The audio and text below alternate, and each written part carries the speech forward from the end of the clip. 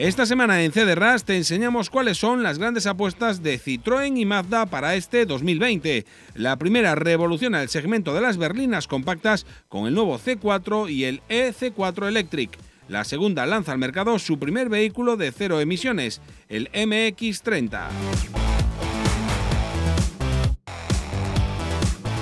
La electricidad también está presente hoy en nuestra pista de pruebas gracias al nuevo Skoda Super IV un híbrido enchufable que ofrece una potencia combinada de 218 caballos y una autonomía en modo eléctrico de más de 60 kilómetros.